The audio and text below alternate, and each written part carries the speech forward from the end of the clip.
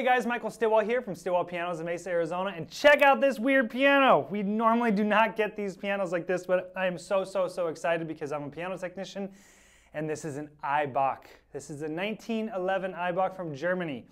These pianos are so highly regarded for us technicians. We rarely, rarely, rarely see them. I personally have only seen probably two or three of them in my entire life. I've never had one in the store, and I've never seen one in Arizona here either. And we did buy this from a local seller here in Arizona.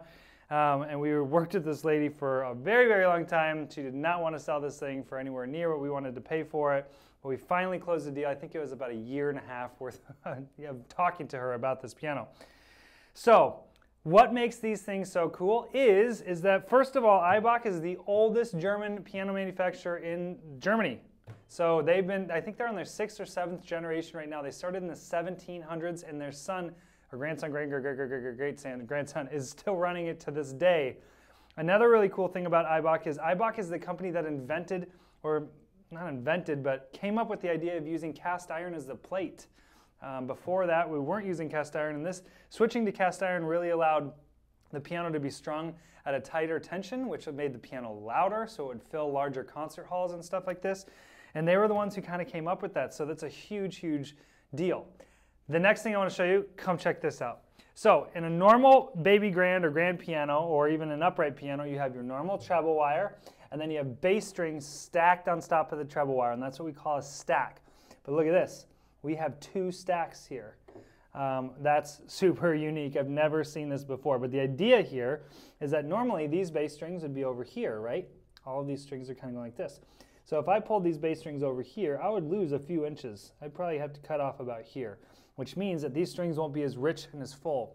So by doing this technique and pulling them over here and doing three or two stacks, this allows these bass strings to be a lot larger or longer, which makes the piano a lot more rich and full. Ibach is known for this. Ibach is known for making small pianos that just blow other pianos out of the water. Um, and this is one of the ways they do this. Uh, it's very, very unique. Never seen it before, but it came out perfectly um, this thing sounds and plays amazing. So I'm going to pull the action and show you what we got going on on the inside, um, and then we'll play the piano for you guys. Uh, but let me, let me go pull the action real quick. All right, now that I got the action out of the piano, I can show you what's going on on the inside. So the first thing I notice as a piano technician, this doesn't look normal at all. Normally you have sections. You have like maybe three sections, sometimes you have four sections, but those are your breaks. Those are the breaks on the plate where you have plate struts going all the way through, and so we have these little breaks. This one we have quite a few.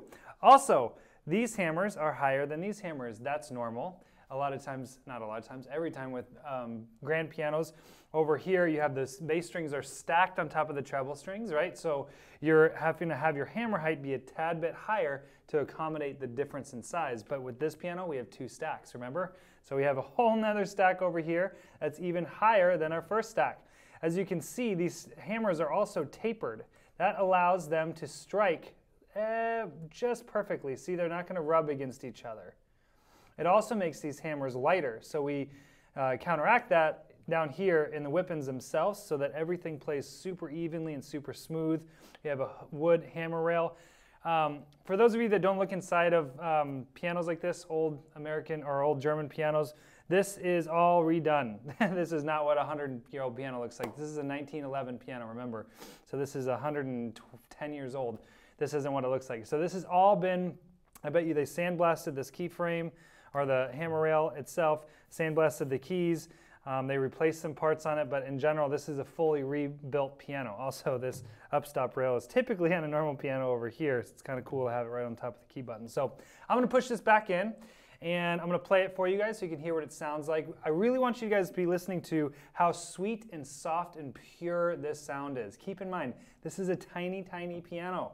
Um, so it's not very easy to do as a manufacturer, but they did it so, so well. I gotta say, this is probably one of the top um, five foot pianos that I've ever had in our store. One other thing, these keys are not plastic. So uh, read between the lines.